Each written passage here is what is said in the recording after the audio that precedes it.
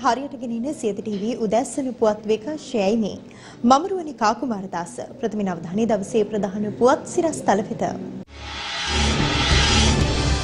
අස්ථාවර වී ඇති රට ස්ථාවර කිරීමට නම් කඩිනමින් මැතිවරණයක් පැවැත්විය යුතුයි අගමැති මහින්ද කියයි.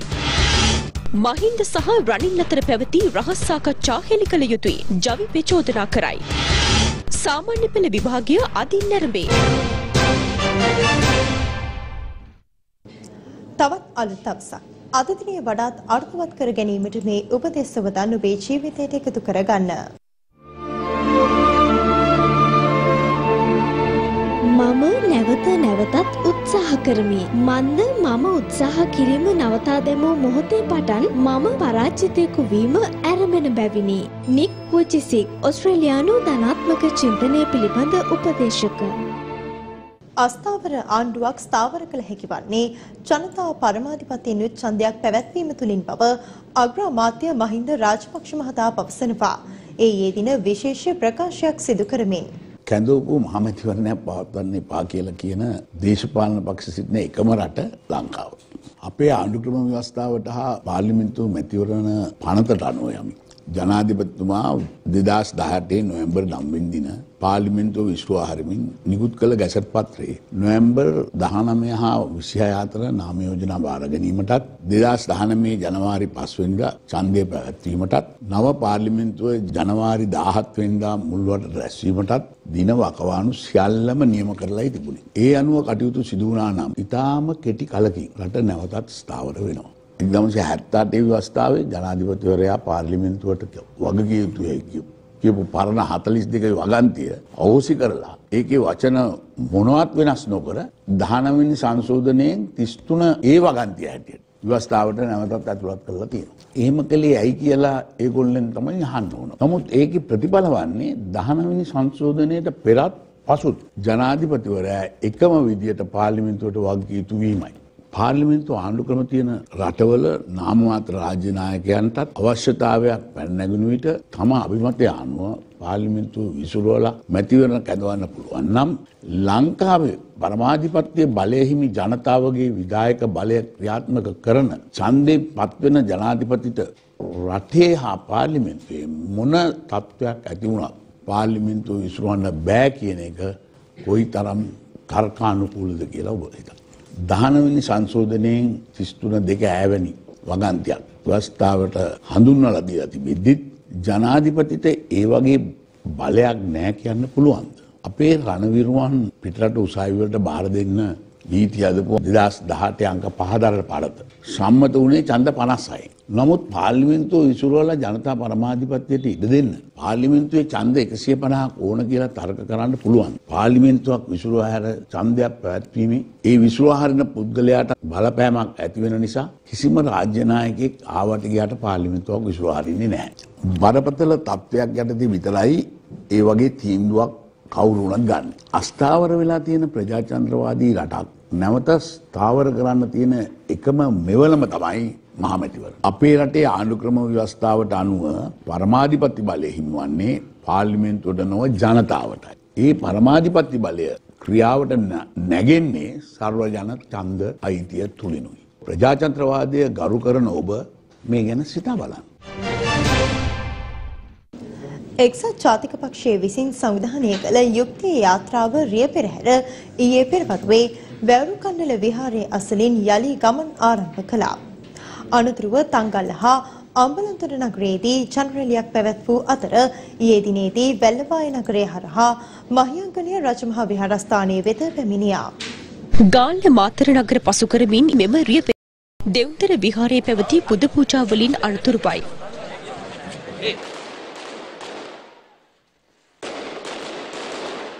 උදෑසන හතාමාට පටන්ගෙන මේ වෙනකනුත් හැම නගරයකම අපිට ලැබිච්ච ප්‍රතිචාරය අපේ ජයග්‍රහණයක් කියන එක ඔබ සියෝජනාවට මේ අවසරයි. යුක්තිය යාත්‍රා රිය පෙරහර ගමන් ආරම්භ කළේ වැවුරු කන්නල විහාරයේ ඉදිරිපිටින්. ගමන් ආරම්භයෙන් පසු තංගල නගරයේදී යුක්තිය යාත්‍රා රිය පෙරහර ජනරැලියක් පවත්වනු ලැබුවා.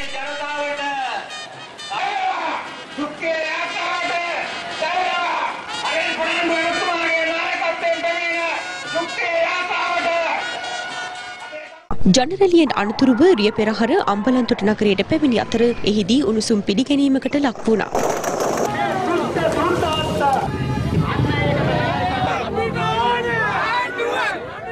අනතුරුව තිස්ස මහාරාම නගරයට පැමිණි යුක්තිය යාත්‍රා රිය පෙරහර ජනරැලියක්ද පවත්වනු ලැබුවා. හරි උත්සාහතුමැත්තුමාරන්ට අපේ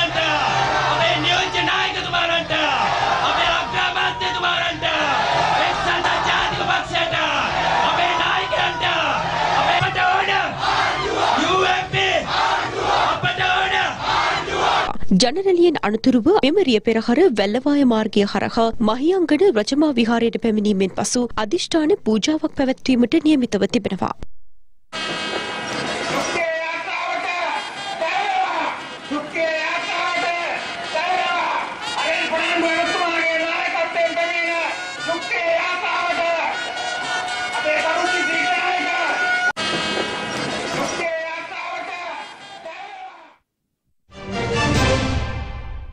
මේ අතර යුක්තියේ යාත්‍රාව රිය පෙරහැර අතරතුර තංගල්ල හා අම්බලන්තොට නගරයේදී පැවති ජනහමුවලදී එක්සත් ජාතික පක්ෂ මන්ත්‍රීවරුන් පළ කළ අදහස් වෙතයි දැන් අවධානය.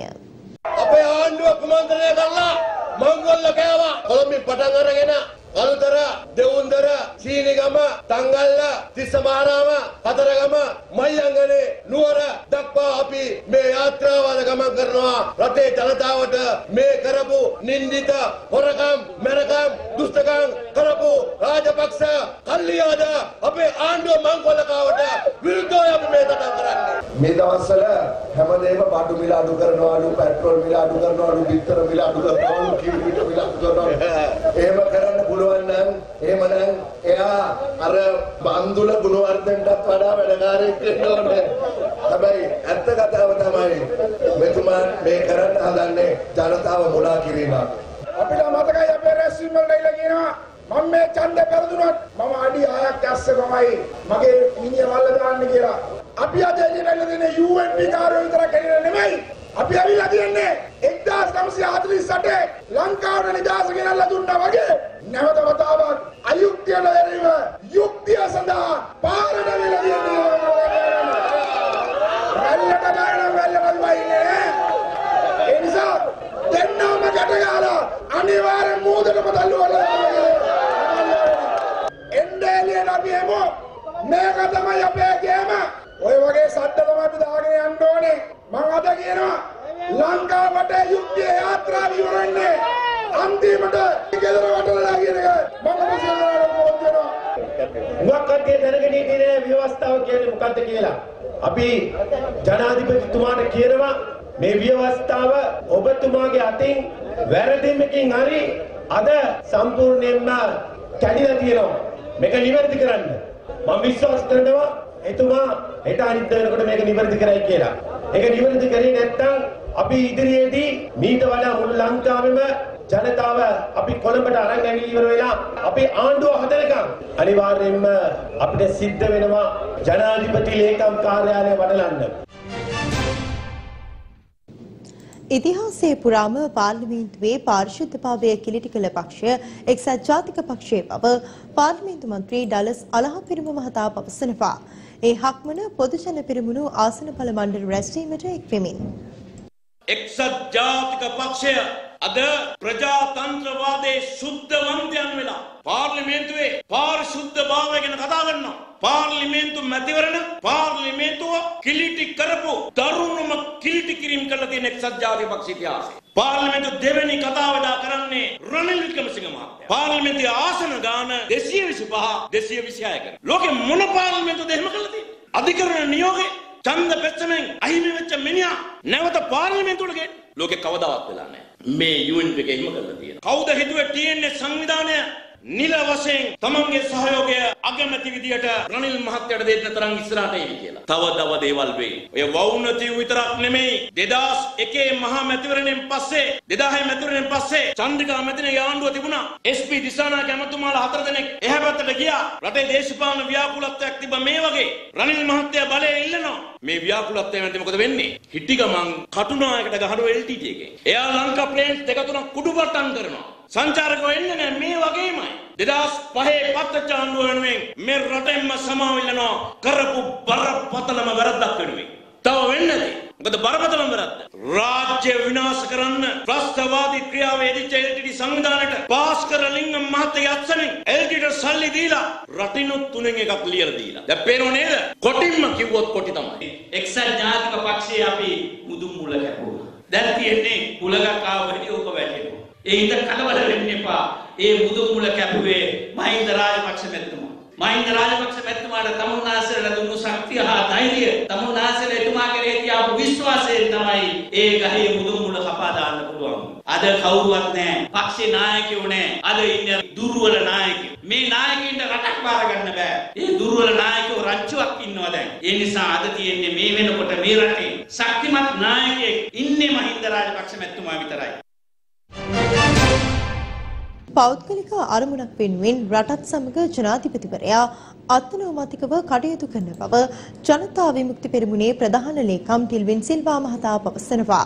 ඒ මහතා මේ බව සඳහන් කළේ කොළඹ පැවති මාධ්‍ය හමුවකට එක්වෙමින්. එන ජනාධිපතිවරයාට බරපතල වගකීමක් තියෙනවා මේ තමන් නිර්මාණය කරපු මේ මේ කුමන්ත්‍රණය නිවැරදි කරලා රට ස්ථාවර තැනකට ගේන්න. හැබැයි ජනාධිපතිවරයා ඒක පැත්තක දාලා එතුමා ට්‍රිප් යනවා. අර රෝමයේ ගිනි ගනිද්දී නීරෝ වීණාවදන කරා කිව්වා වගේ මේ රටම ගිනි තියලා ඒ අරුබුදේ මැද්දේ ජනාධිපතිවරයා බොහොම හැල්වෙන් ඉන්න ජනාධිපති කියලා පින්තූර දා ගන්නවා ගිහිල්ලා විවෘත කිරීම වලට යනවා. රට අතිශය බරපතල අරුබුදයක තියෙනවා. පාර්ලිමේන්තුවල පැවැත්මක් නැහැ කියලා දැන දැන තිබියදී මේ බලහත්කාරී ආණ්ඩුව දිගටම පවත්වාගෙන යන්න ආණ්ඩුව අටෝපය උත්සාහ කරමින් ඉන්නවා. ජනාධිපතිවරයා ඇසරෙන්නේ බලහත්කාරය පාවිච්චි කරන අත්නෝමතික හිතුවක්කාර භූමිකාවක. තමන්ගේ මේ පුද්ගලික බල අරමුණක් වෙනුවෙන් මුළු රටක් එක්ක ක්‍රීඩා කරන ජනාධිපතිවරයෙක් බවට මේ ජනාධිපති පත් වෙලා තියෙනවා. අපේ රටේ අගමැති කෙනෙක් නැහැ. හිටපු අගමැතිව බලෙන් අයින් කරලා. මහින්ද අගමැති කියලා පිළිගන්නේ මහින්දයි. මෛත්‍රීපාල මහත්තයයි මහින්ද වටේ ඉන්න කණ්ඩායම විතරයි. දැන් මේක තේරෙන්නේ නැද්ද මෛත්‍රීපාල මහත්තයාට? ආණ්ඩුවක් කියලා හිතුවොත් එමෙ මේක හයිජැක් කරපු ආණ්ඩුවක් තියෙන්නේ. මේ හයිජැක් කරපු ආණ්ඩුව නීතිරුදි ආණ්ඩුව සභාව ගැබේ නැහැ. ආණ්ඩුව කොහෙද ඉන්නේ? ආණ්ඩුව තියෙන්නේ කැන්ටිමේ. කැන්ටිමේ රැස් වෙලා කැන්ටිමෙන් කාලා ඊට පස්සේ එතනින් එහා පැත්තට ගිහිල්ලා ජනමාධ්‍ය වලට වොයිස් කට් එකක් දීලා ගෙදර යනවා. මේ ප්‍රශ්නේ අපි හිතනවා විසඳිය යුත්තේ මෛත්‍රීපාල සිරිසේන මහත්තයා. දැන් තියෙන්නේ වෙච්ච දේ පිළි අරගෙන ගෞරවාන්විතව මේ කුමන්ත්‍රණය නිවැරදි කළ යුතුයි. රටේ ඉන්න කට්ටිය අභියමෝරාගෙන ජනතා විමුක්ති පෙරමුණට දෝෂාරෝපණ කරනවා ජනතා විමුක්තිනම එක්සත් ජාතික පක්ෂ උදව් කරනවා අය එක්සත් ජාතික පක්ෂයක ඩීල් තියෙනවා කියලා. බැලුවම හොරෙන් කවුද සාකච්ඡා කරන්නේ? ජනතා විමුක්ති පෙරමුණ එක්සත් ජාතික පක්ෂ හොරෙන් කතා කරලා නැහැ. ඒ වුණාට මහින්ද රාජපක්ෂ මහත්තයයි රයිල් මහත්තයයි හොරෙන් සාකච්ඡා කරා. හෙලි කරන්න මොනවද සාකච්ඡා කරේ ඒක? ගත්තු තීරණ මොනවද? මේ රහස් කුමන්ත්‍රණ රහස් සාකච්ඡා මගින් මේ කරන්න යන්නේ මොකක්ද කියන එක අපේ රට ජනතාව දැනගත යුතු නිසා මේ කණ්ඩායම් දෙකම මේ ප්‍රශ්නේ විසඳා ගැනීමට බාධා කරමින් ඉන්නවා. අපි හිතන නිසා ඒක හෙළිදරව් කළ යුතුයි කියලා. පාර්ලිමේන්තුව තුනෙන් දෙකක බලයක් නොමැතිව විසිරුවා හැරීමට නොහැකි බව ආණ්ඩුක්‍රම ව්‍යවස්ථාවේ ස්ථීරවම සඳහන් බව පාර්ලිමේන්තු මන්ත්‍රී අජිත් පී පෙරේරා මහතා පවසනවා. බණ්ඩාරගම ප්‍රදේශයේදී ඒ මහතාගේ ජන්මදිනය නිමිත්තෙන් පැවති ලේදන් දීමේ කඳවුරකට එක්වෙමින් අනතුරුව මාධ්‍ය වෙත අදහස් දක්වමින් මන්ත්‍රීවරයා මේ බව කියා සිටියා. මහින්ද රාජපක්ෂ පාර්ලිමේන්තු මන්ත්‍රීතුමා අද විශේෂ ප්‍රකාශයක් කළා.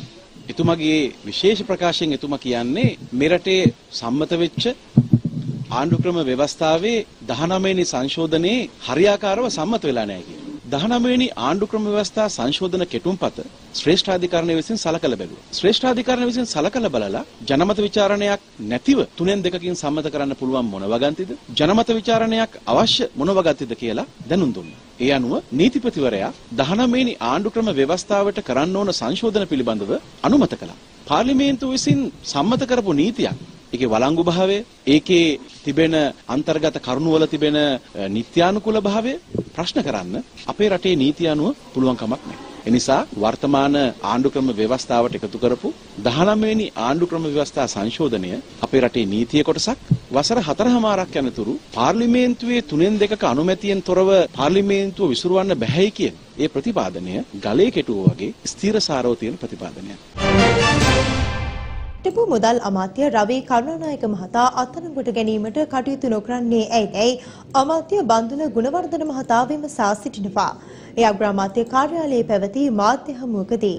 පාස්කරණය මහත්මයා. සියලුම ආර්ථික ප්‍රතිපත්ති තීන්දුව తీරන තමන්ගේ අභිමතය පරිද්දෙන් ගන්න නිසා මෛත්‍රීපාල සිරිසේන ජනාධිපතිතුමා රටට අහිතකර තීන්දුව తీරන ගන්න එපා මේ ආර්ථික කළමනාකරණ කමිටුව කියලා කියලා කියලා කියලා බැරිම තැන. මේ ආර්ථික කළමනාකරණ කොමිටුව මෛත්‍රීපාල සිරිසේන ජනාධිපතිතුමා විසින් අවෝසි කරනු ලැබුවා. මුදල් අමාත්‍යවරයා හිටපු Taman යටතේ තියෙන ලිට්‍රෝ ගෑස් සමාගමේ රහස් ගිණුමකි මුදල් ගෙවමින් දේශපාලන හෙන්ටයන් නඩත්තු කළාම ඒ රජයේ මුදල් අවභාවිතයක් නෙමේ. ඇයි රවි කරුණානායකට එක විදියකට නීතියකුයි ඊළඟට අපේ රණවිරු മന്ത്രിවරු තොගවසේ අත්අඩංගුවට අරන් අප නැතුව තිබ්බ ආණ්ඩුවක් තිබිලා. මෙතුමා ඊතරක් මෙලෙසින් මුළු රටම දන් ඔරකම් වංචා දූෂණ අක්‍රමිකතා සඳහා අල්ලස්සා දූෂණ කොමිසමට ඒකාබද්ධ විපක්ෂයේ മന്ത്രിවරු දෙවරක් තුන්වරක් ගිහිල්ලා පැමිණ ඉදිරිපත් කළා. ඇයි මේ බලවතා අත්තර උඩ ගන්න නැත්තේ? මෙරට සම්පත් විදේශිකයින්ට විකිණීමට පසුගිය රජයේ කටයුතු කළ බැවින් තමන් පාර්ලිමේන්තුව තුළ ස්වාධීන වීමට තීරණය කළ බව පූජ්‍ය අතුරුලියේ රතන හිමියන් පවසනවා. තිරසර ජාතික වැඩපිළිවෙල එළිදැක්වීමේ අවස්ථාවට එක් වෙමින් උන්වහන්සේ මේ අදහස් පළ කළා. තිරසර ජාතික වැඩපිළිවෙල එළිදැක්වීම අග්‍රාමාත්‍ය මහින්ද රාජපක්ෂ මහතාගේ ප්‍රධානත්වයෙන් පූජ්‍ය අතුරලියේ රතන හිමියන්ගේ මූලිකත්වයෙන් පැවැත්වුණා.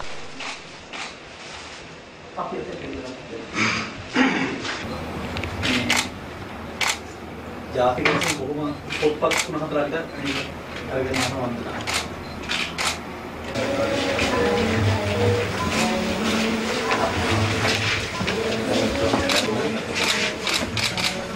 මෙම අවස්ථාවට අමාත්‍ය දිනේශ් ගුණවර්ධන උදය ගම්මන්පිල ඇතුළු මැති ඇමතිවරුන් පිරිසක් එක්ව සිටි අතර පාර්ලිමේන්තු මන්ත්‍රී වසන්ත සේනානායක මහතාද එක්ව සිටීම විශේෂත්වයක් වුණා. මතක තියාගන්න එක්සත් ජාතික පක්ෂයට මම කියන මම මේ පිනට පත්වෙච්ච මන්ත්‍රී කෙනෙක් නෙවෙයි. කිසි දවසක අපි නොඉන්න එක්සත් ජාතික පක්ෂයේ ඔයගොල්ලට මැති ඇමතිකම් කරන්න හම්බෙන්නේ නැහැ. අපි තමයි මේ ජනමතය හදලා ඒ මොහොතේ මෛත්‍රීපාල සිරිසේන මැතිතුමා ජනාධිපති කරේ. සයික පිනට හම්බෙච්ච මන්ත්‍රී ධුරයක් නෙවෙයි. අපිටත් සමාජයේ වටිනාකමක් තියෙනවා. මහින්ද රාජපක්ෂ මැතිතුමා පුජ්‍යලිකව අඳුන හන්ද නෙවෙයි. මට උදව් පදව් එතුමා බලේ ඉන්න කාලෙත් කළා තියෙනවා. ඒ පෞද්ගලික උදව්නේ සාසනයට කරපු උදව්. මට සත පහකවත් උදව්වක් එතුමා පුජ්‍යලිකව කරලා නැහැ. හැබැයි එතුමා පරාජය කරන වැඩ පිළිවෙලටම ඉදිරිපත් වුණා. ඇයි ඒ කියන එක දැන් කියන්න ඕනේ ඒක දිග කතාවක්. කෙටියෙන් කිව්වොත් මේ ආණ්ඩුවට ඇයි මම විරුද්ධ වුණේ කියන එක මම කියන්නම්. මේ ආණ්ඩුව බලේ ඉන්න හැම දවසකම අපට රට නැති වෙන නිසා. හිරිකුණාමලයෝ ඉඳලා මන්නාරම දක්වා අක්කර දෙලක්ෂ පනස් දාහකට සැලසුම් හදල තියෙනවා විදේශීය සමාගම්වලට දෙන්න. අධ්‍යන පොදු සහතික පත්‍ර සාමාන්‍ය පෙළ විභාගය අද ආරම්භ වීමට නියමිතයි. මෙවර විභාගයට පෙනී සිටින අයදුම්කරුවන් සංඛ්‍යාව 6,56,641 දෙනෙක්. මෙවර අධ්‍යන පොදු සහතික පත්‍ර සාමාන්‍ය පෙළ විභාගය ආරම්භ වනවා. ඒ අනුව ලබන 12 වනදා දක්වා විභාගය පැවැත්වෙන බවයි විභාග දෙපාර්තමේන්තුව සඳහන් කළේ. මෙවර විභාගයට අයතුම්කරුවන් 6,56,641 දෙනෙකු පෙනී සිටීමට නියමිතයි. දිවයිනේ විභාග මධ්‍යස්ථාන 4661ක් සම්බන්ධීකරණ මධ්‍යස්ථාන 541ක් සහ ප්‍රාදේශීය එක්රැස් කිරීමේ මධ්‍යස්ථාන 33ක් මෙන්ම මධ්‍යම එක්රැස් කිරීමේ මධ්‍යස්ථාන දෙකක් ස්ථාපිත කර ඇති බවයි විභාග දෙපාර්තමේන්තුව සඳහන් කළේ. මේ අතර මෙවර විභාගය සඳහා විශේෂ ආරක්ෂක සේවාවක් ක්‍රියාත්මක කරන බව පොලිස් මාධ්‍ය ප්‍රකාශක පොලිස් අධිකාරී රුවන් ගුණසේකර මහතා සඳහන් කළා. මෙවර අධ්‍යන පොදු සහතික පත්‍ර සාමාන්‍ය පෙළ විභාගයේ අයතුම්කරුවන් කල්වේලා ඇතිව විභාග මධ්‍යස්ථානය කරා පැමිණුණු ලෙස විභාග කොමසාරිස් ජෙනරාල් සනත් පූජිත මහතා අයතුම්කරුවන්ගෙන් ඉල්ලා සිටිනවා. මහමැතිවරණයක් කඩිනමින් පවත්වන්නේ ඉල්ලා අද දින දැවැන්ත උද්ඝෝෂණ ව්‍යාපාරයක් ක්‍රියාත්මක කිරීමට සූදානම් බව සමස්ත ලංකා පළාත් පාලන සංසදය පවසනවා. අපි හෙට දවසේ එනම් දෙසැම්බර් 3 වෙනිදා මේ රටේ දැවැන්තම උද්ඝෝෂණය සංවිධානය කරලා හවස තුන පවත්වන්න සංවිධානය කරලා තිනවා. ඒ උද්ඝෝෂණයේ අරමුණ තමයි වික්‍රමසිංහගේ ආණ්ඩුවේ හැමදාම බාලගිරි දෝෂි වගේ පළාත් පාලන ඡන්දේ කල් දැම්මා. මැතිවරණ කාර්යාලේ වටරලා අමාත්‍යංශ වටරලා තමයි රනිල් වික්‍රමසිංහව බෙල්ලට හිර කරලා තමයි පළාත් පාලන මැතිවරණය අරගෙන පෞගේ පෙබරවාරි 10 වෙනිදා ශ්‍රී ලංකා පොදු ජන පෙරමුණ අතිවිශ ජයග්‍රහණයක් කරේ. මේ එක එක කතන්දර කියමින් පැහැදිලිව මේ රටේ ස්ථාවරභාවය මේ රටේ රටේ අනාගතය පිළිබඳව තියෙන සියලු සැලසුම් කඩාකප්පල් කරන්න තමයි හදන්නේ. ඒක අවශ්‍යතාවය තියෙන්නේ බටහිර රටවල් වලට. මේ රට ස්වාධීනව නැකිටලා මේ රට සංවර්ධනය වුණොතින් බටහිර රටවල් වලට මේ රටවල් අතකොළුවක් බවට පත් කරගන්න ලැබෙන්නේ නැහැ. අන්න ඒකට තමයි අතකොළුවක් වෙච්ච වික්‍රමසිංහ අගමැතිවරයා පත් කරන්න කියන එක බටහිර රටවල තානාපති කාර්යාලයක් TNA එකත් JVP එකත් කටයුතු ගන්න. විශේෂයෙන් කියන්න ඕනේ මේ අගමැතිකම බාරගත්තේ මේ අගමැති පුටුවේ ඉඳගෙන ඒක භුක්ති විඳින්න නෙමෙයි. නමුත් එතුමා අදත් කියන්නේ මේ අගමැති පුටුවේ මට ඉඳගන්න කිසිම උවමනාවක් නැහැ. මට ඕනේ හෙට ජනතාවට මේක දීලා කරුණාකර මේක ජනතාව විසින් නැවතපත් කරලා එන ඒ ජනතා කැමැත්ත නිසනමලා ඕනම තනතුරක ඉන්නවා කියන හැඟීම තුල තමයි එතුමා අදරත් ඉන්නේ. ලෝකෙම බලන් ඉන්නකොට අපේ ලංකාව දිහා හොඳ ආණ්ඩුවක්පත් වෙලා මේ වැඩ කටයුතු කරන්න අපි ජනතාවට බාර දෙනවා. ඒ ජනතාවට බාර දීමේ පළවෙනි ඒ අපේ උද්ඝෝෂණ ව්‍යාපාරය හෙට දිනදී සවස් 3ට මරදාන නගරය අපි සියලුම වට කරලා අපි උද්ඝෝෂණය පවත්වනවා මේ මැතිවරණ ඉල්ලලා. අලුත් පියාපත් තරුණ සංවිධානය මකින් උද්ඝෝෂණ ව්‍යාපාරයක් ඊයේ කොළඹ නිදහස් චතුරස්‍ර පරිශ්‍රයේදී සංවිධානය කර තිබුණා. ප්‍රජාතන්ත්‍රවාදය රැකදෙන ලෙස ඉල්ලා අද පස්වරුවේ අලුත් පියාපත් සංවිධානය මගින් උද්ඝෝෂණ ව්‍යාපාරයක් ආරම්භ කළා. ඒ කොළඹ නිදහස් චතුරශ්‍රයේදී. මේ සඳහා අලුත් පියාපත් සංවිධානය නියෝජනය කරන තරුණ තරුණීන් රසක් මෙන්ම කලාකරුවන් දෙක්ව සිටියා. හරි. ඒ ධෛර්යය අවශ්‍ය මොහොතේ ඒ ධෛර්යය ලබා දෙන්නට අපිත් එක්ක එකතු වෙනවා. කරපි දේවල් අපෝරි ගහලා වැඩක් නෑ ගියාට පසු බලයට ආපු ඇතු ඒ රටට කරපු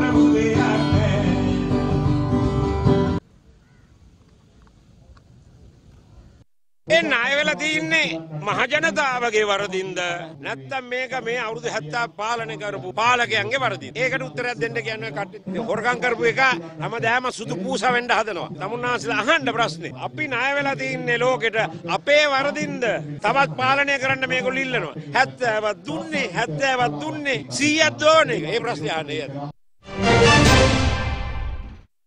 සියලු දැස්සන පුවත් වේකාශය නිමාවට පත්වනවා.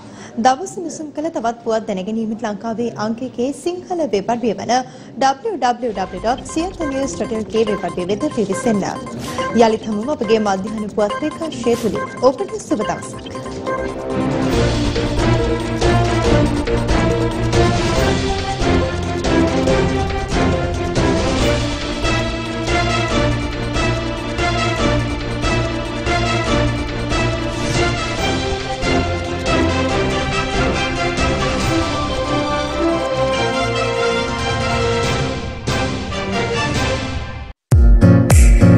දිනපතා අලුත් වීඩියෝ සහ ප්‍රවෘත්ති නැරඹීමට ඉහත බටන එක කලික් කර සියත TV සබස්ක්‍රයිබ් කරන්න. අලුත් වීඩියෝ ගැන මුලින්ම දැනගන්න මෙම සීනුව කලික් කරන්න.